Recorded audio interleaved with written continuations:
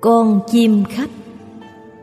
Mùa thu năm 1996 Duyệt cư sĩ dẫn một thiếu phụ đến nhà tôi. Thiếu phụ đi cùng mẹ chồng, tai bế một em trai chưa tròn một tuổi. Cô khóc lóc kể rằng, Khi đưa con trai đến bệnh viện khám, Mới phát hiện nó bị tim, Khiếm khuyết, bẩm sinh. Cô rất khổ tâm vì không biết đào đâu ra số tiền lớn đi phẫu thuật cho con, Vì giá chữa trị quá đắt đỏ. Con gái tôi là Quả Lâm mới bảo họ rằng, Phụ thân thằng bé vào thuở 16-17 tuổi Đã dùng ná bắn trúng một bên tim của con chim khách, Khiến nó rơi xuống chết đi. Thằng bé này chính là con chim khách đầu thai. Hiện giờ khởi đầu chỉ là buộc bọn họ phải tốn tiền chữa tim cho nó. Nhưng trong tương lai e rằng họ sẽ bị nó làm khổ dữ tận hơn. Thậm chí cha của nó có thể sẽ phải mất mạng về tay con mình. Quả lâm bảo toàn gia họ nên ăn chay Và hãy vì con chim khách ấy tụng kinh địa tạng. Còn nữa, cha đứa bé cần ở trước Phật Hướng con chim khách ấy sám hối xin lỗi nhận tội. Phải vì con chim khách ấy tụng ít nhất 108 bộ kinh địa tạng Càng nhiều càng tốt. Như vậy chẳng những được đối phương tha thứ Mà còn chiêu cảm được Phật lực gia trì. Như vậy thì bệnh thằng bé có thể không trị mà lành. Sau này lớn lên, nó sẽ thành một đứa con hiếu thuận. Mẹ chồng và nàng dâu sau khi quay về nhà, Liền chất vấn cha thằng bé.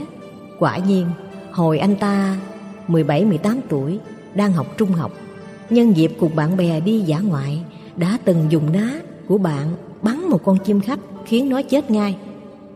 Anh còn nhớ rất rõ, Viên đạn là bi của xe đạp. Việc này khiến toàn gia phát tâm tin Phật. Từ đó họ thề dứt tuyệt đồ mặn Ăn chay trường. Mỗi ngày vì thằng bé quỳ tụng kinh địa tạng. Một thời gian rất lâu trôi qua, Họ phát hiện hơi thở thằng bé trở nên điều hòa rất nhiều. Lúc đi bệnh viện khám, Ngay cả bác sĩ cũng kinh ngạc khôn tả Khi thấy nơi chỗ tim khuyết đã mọc ra mầm thịt, Khiến trái tim nhanh chóng phục hồi thể trạng như người bình thường.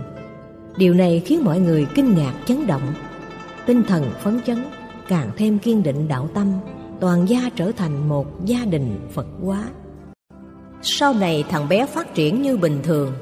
Tin này đến giờ tôi biết được thì đã 10 năm trôi qua. Do chính miệng duyệt cư sĩ, Người đã dẫn họ đến gặp tôi thuở xưa, Đích thân mục kích và kể lại tình hình. Qua đây đủ chứng minh, Chỉ có học Phật mới giúp chuyển biến mệnh vận của mình. Chỉ có sám hối mới khéo quá giải quán hận kiếp xưa. Nhân quả không nhất định là phải trả báo, Chỉ cần bạn chịu dứt tuyệt đồ ăn mặn Mà ăn chay trường, Chân thành sám hối, Sát nghiệp đời này và vì thường chúng sinh tụng kinh niệm Phật, Hy vọng chúng sinh lìa khổ được vui, Thì tội nghiệp đã tạo trong quá khứ, Có thể dần tiêu trừ.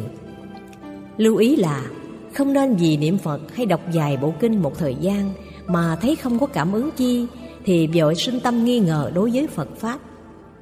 Phải biết, cầu cảm ứng là tâm ích kỷ. Tâm này không thể chiêu cảm ứng cùng Phật và chúng sanh. Chỉ có tâm vị tha, vì chúng sanh không vì mình, mới là tâm đại từ bi, thì nghiệp chướng mới dần dần tiêu trừ, tự nhiên cảm ứng tương thông, lìa khổ được vui. Mọi người đều cho rằng cả nhà chung sống hòa thuận là vui, chẳng hề biết lòng ái càng sâu thống khổ càng dữ.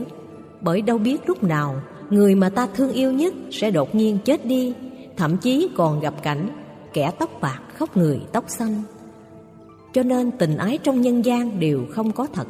Chẳng bền, Nó giống như bọt bóng ánh màu ngũ sắc Trong diễm lệ, Nhưng rất dễ dở tan.